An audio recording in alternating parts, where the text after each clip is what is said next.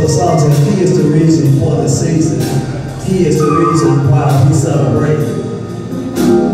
Born in the manger, became our Savior. Love is the reason why Jesus came. They say that's the based on God's church.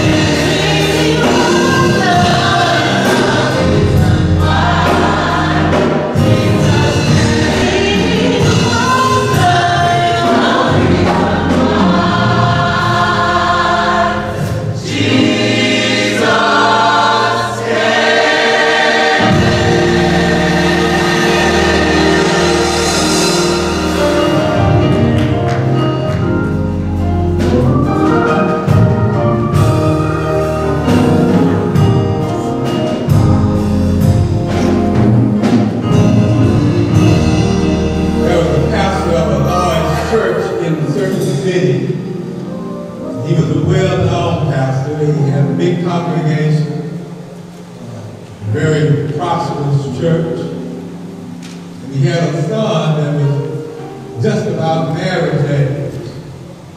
And everybody was wondering who the son would marry. There were so many nice women in the church, uh, education, finance. Uh, they all wondered who he was going to marry. And uh, when he announced who he was going to marry, it was a woman who was known as a prostitute in the city. She had a bad reputation, and, and, and everybody was wondering why this preacher's son would marry the well-known prostitute. And so they asked the preacher, said, why did your son, out of all these eligible women in the church, pick this woman who was a street woman, wino and prostitute? And the father said, look, my son is a man, ask him. So on that next church meeting day, the son got up he said, I, you all have been asking my father why I picked the woman that I picked to marry. He said, but that wasn't no real question. He said, your real question is, can the blood of Jesus wash away this prostitute's sin? That's right. What can wash away my sin? Nothing but the what? Blood of Jesus. Stand to your feet with me right there. Everybody stand to your feet and say to the person on your right hand, it is no sin. Come on, say it like you mean it. Somebody on your right hand, shake hands and say, it is no secret what God can do.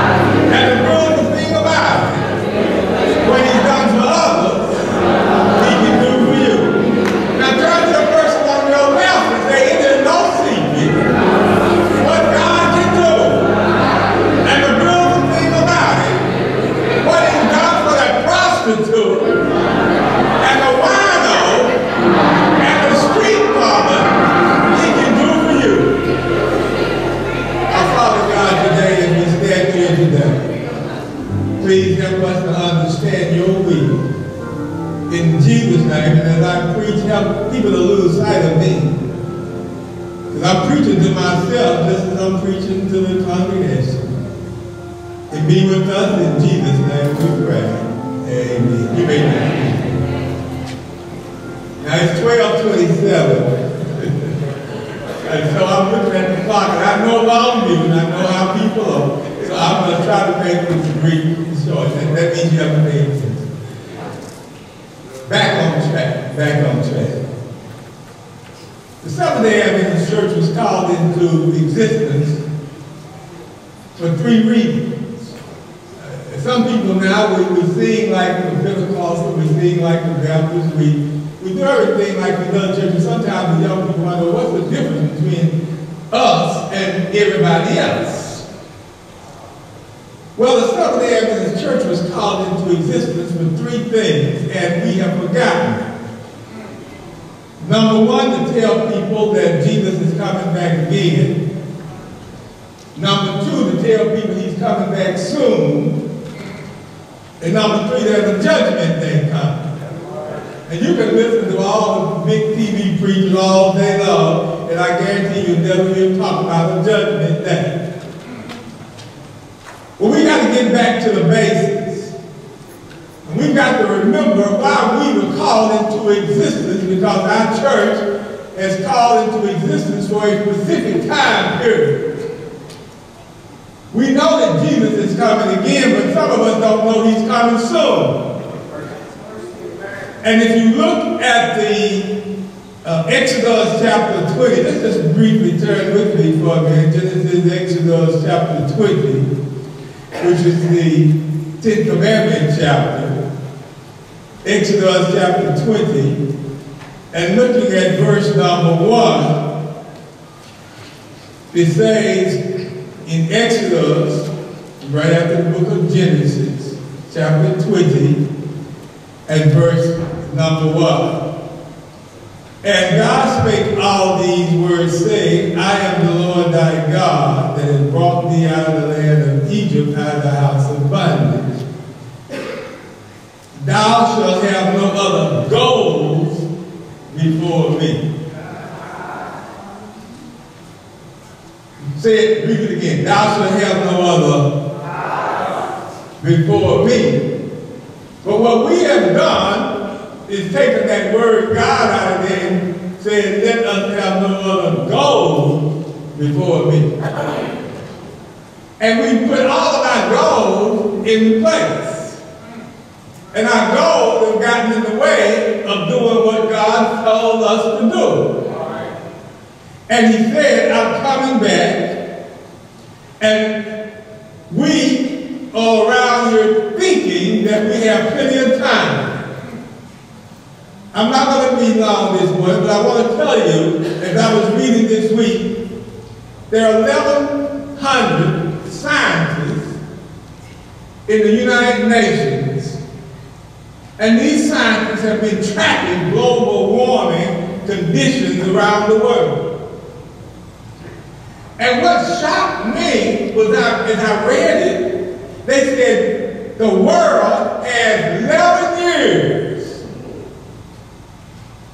to fix it, or else this world will not be inhabitable by human beings. 11 years. And I saw that I couldn't, you know, it was a shock to me. These people are scientists, and they're tracking things all over the world. And they say, what is happening is that this global warming is killing off all of these little insects and microorganisms that it takes to produce food. You know, back in, in science, if you if you have plants, you got to have some kind of bee, you know, or something to pollinate the plants. Well, all these little things are being destroyed, and half of them that existed in the world have already been destroyed. And so they're saying we got 11 years to get it right, to stop this thing from finishing, destroying all these organisms. Otherwise, we won't be able to live in this world. Now, what's going to happen to all the houses and land and the cars and all that stuff after 11 years? You can't have it. You can't live with it. And I got to thinking about what Jesus did in Matthew 24. Let's turn quickly to the book of Matthew. Matthew in the New Testament, the 24th chapter. Matthew, the 24th chapter. And it made sense to me what these scientists were saying based on what I have been reading in the Bible. Matthew 24 and verse 15, it says, And this gospel of the kingdom shall be preached into all the world unto a, for a witness unto all nations, and then shall the what? With all of this new technology, with all of these new smartphones, and all of these new computers, and all these new gadgets, this gospel is going to be preached in all the world. And it's going to finish up soon. We've forgotten it. We don't study the Word of God enough to realize what is happening. 11 years. I'm not putting the time on it. God said no man knows the day nor the hour. I'm not putting the time on it. But when I see what the Bible says and when I see what technology is doing, well, they're experimenting with all kinds of new gene technology and all of this stuff with DNA and what they can do about it. It lets me know knowledge has increased. And Matthew 24 says, this gospel shall the kingdom shall be preached in all the world for a witness unto all nations, and then the end shall come. And then I go back to Daniel 12, 4. Let's go back there with me, right after the book of Ezekiel, Daniel 12, 4. And I, and, I, and I, thought about this. I said, I could get up here and preach something different, but, but the Bible, the Holy Spirit said, no, you're going to tell them like it here. In Daniel chapter 12, verse 4, you read this over and over, but it's not sinking in. But thou, O Daniel, shut up the words, seal the book, even to the time of the what? Many shall run to and fro, and knowledge shall be what? There's more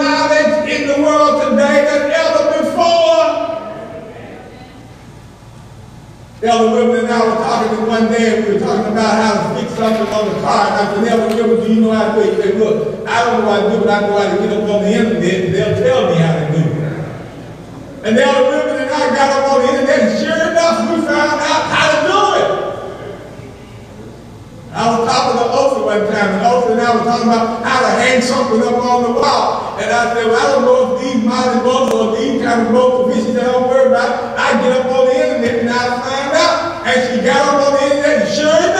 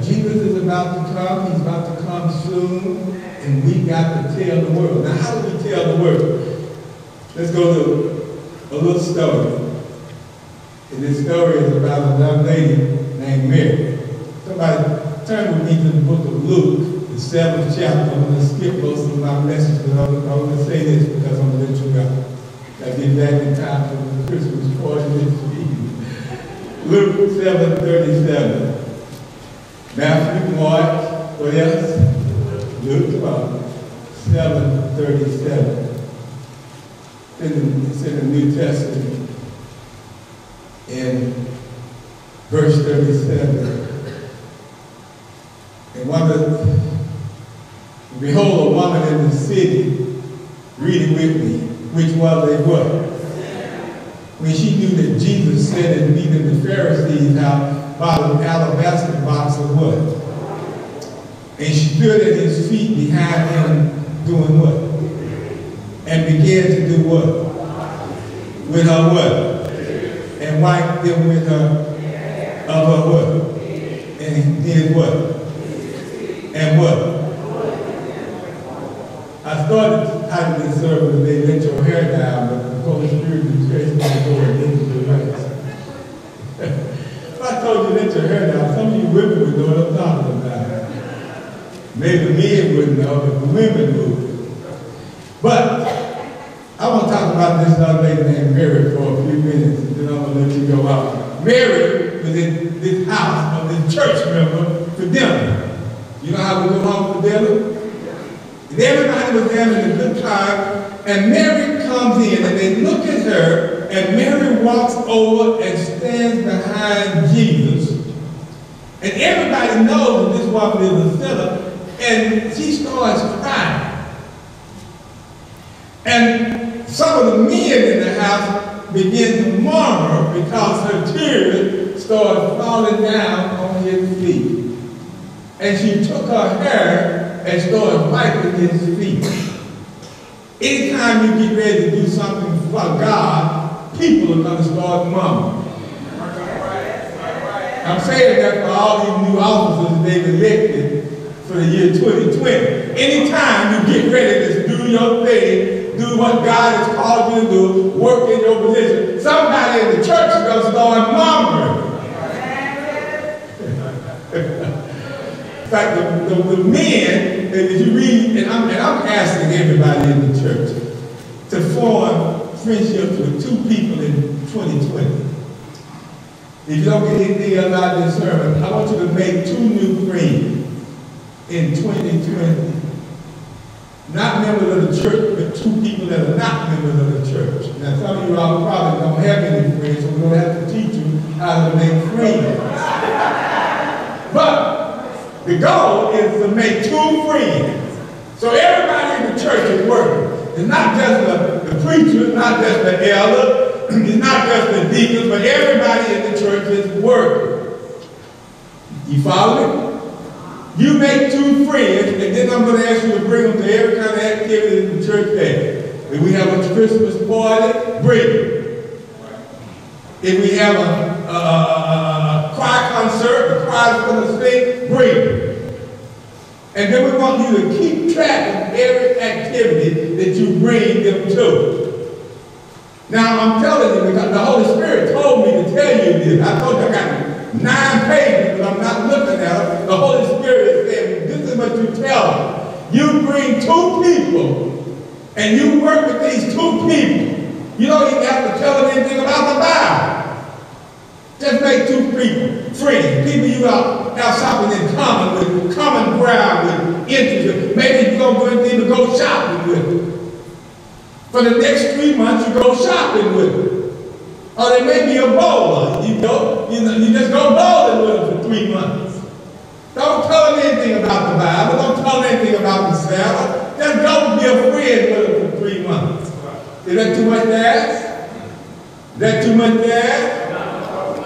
Just be friends with them. And during this Christmas season, you see, this is the season of what? Giving. Ask the Holy Spirit to come into your life. Now, somebody put, put uh, Acts 1 8 up here on, on, on the screen for me. I, I got, the Holy Spirit telling me to tell you this. Acts 1 8. We've been repeating this a whole year. Two years. Acts 1 8. Put Acts 1 8. I want to show you what the Holy Spirit told me about what we have been doing. And sometimes, you know, you can be in the church thinking you're doing what's right, but you're doing what's wrong.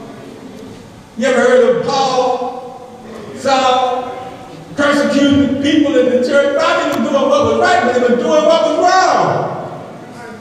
Now, what we are doing wrong? But ye shall do what? When? And then ye shall be.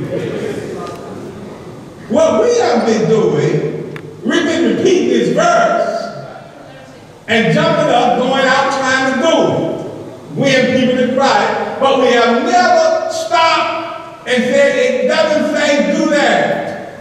This verse doesn't say do that. It says first, you get the Holy Spirit.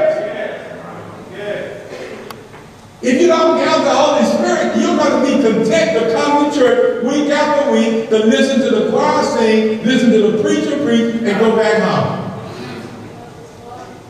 And that's what's wrong with Longview. And, and the reason I know it, because many times I'm standing over there with Brother David Moore, standing and I'm Urshan, and I look out and I see all these empty seats.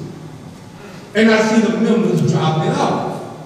And the Holy Spirit say the reason it's dropped off is because Longview doesn't have the Holy Spirit. We know everything. We're running out trying to do everything. We got all these beautiful plans and all these different things that we want to do, but we don't have the Holy Spirit. So the I'm, I'm going to ask you to do something else. I'm going to challenge you.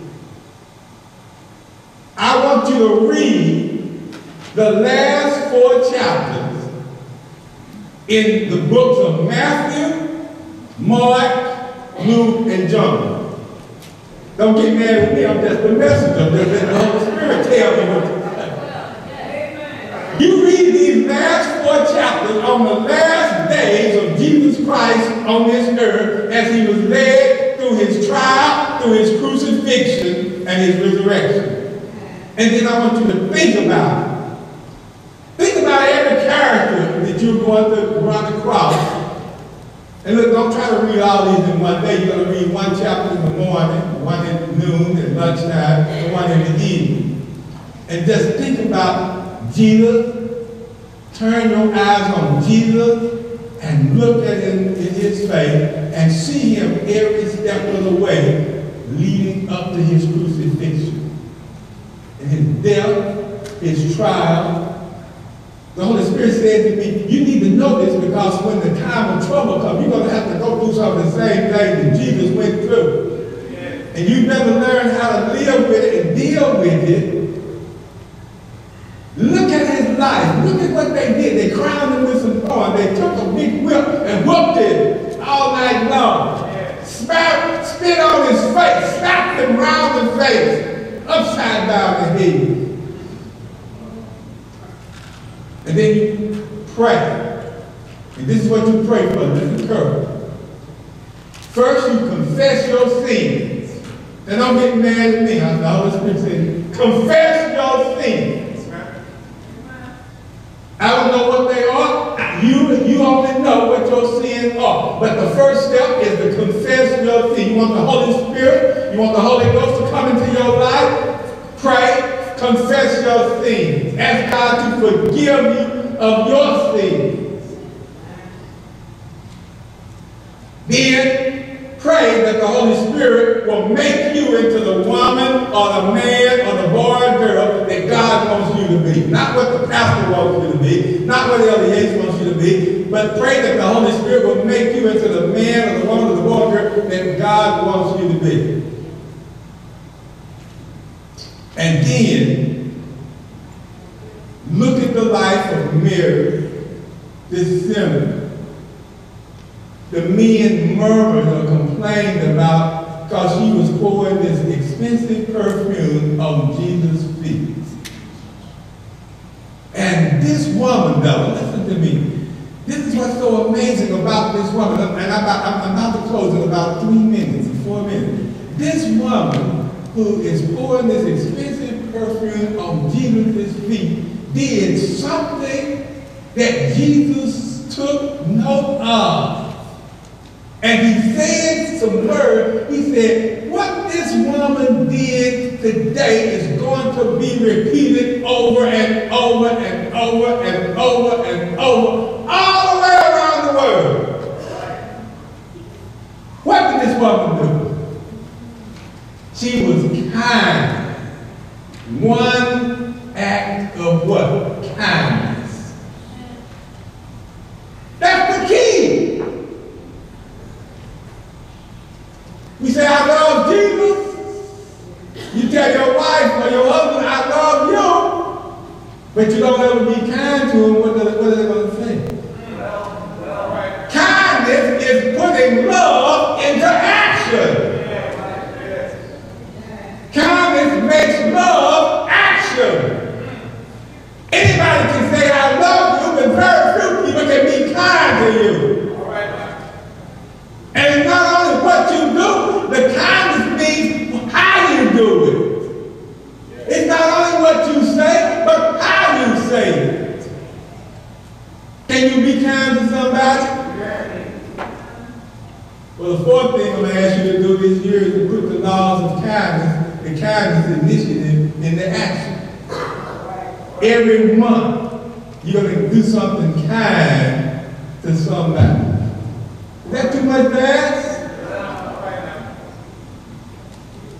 People may never remember you the gas and you said, look, I'll pick you up and I'll take you to the gas station and buy you some gas and you pay for it and you bring it back to that car. You think they'll ever forget that? People don't forget kindness.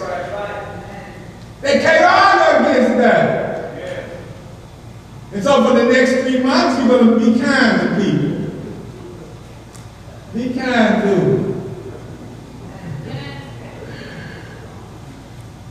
The Holy Spirit tell me to close this up. Do this question for me.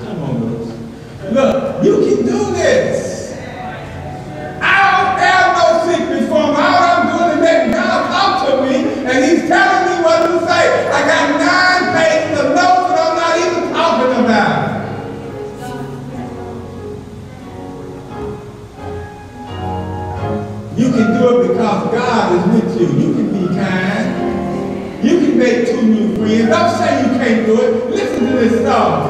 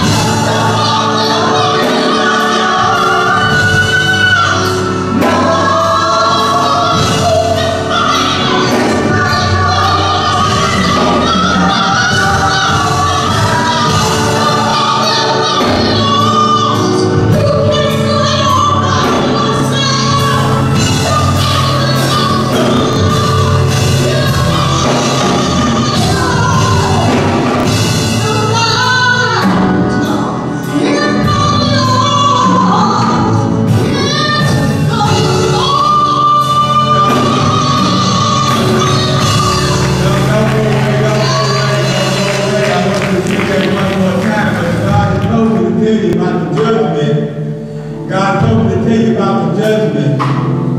He said not only is he coming back, not only is he coming back soon,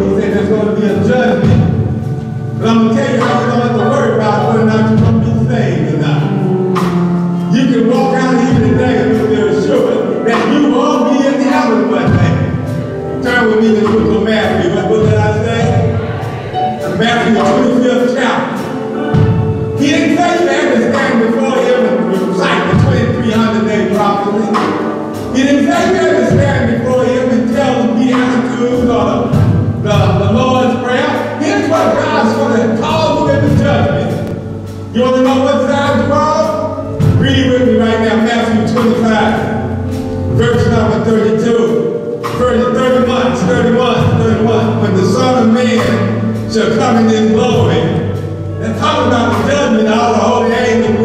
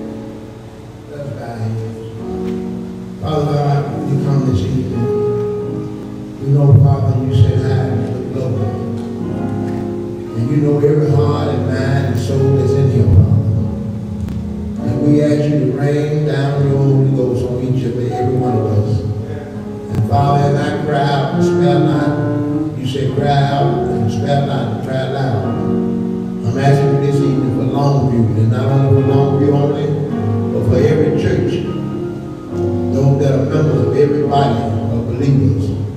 We ask that you would rain down your Holy Spirit upon us, Father. Cleanse our mind and cleanse our heart.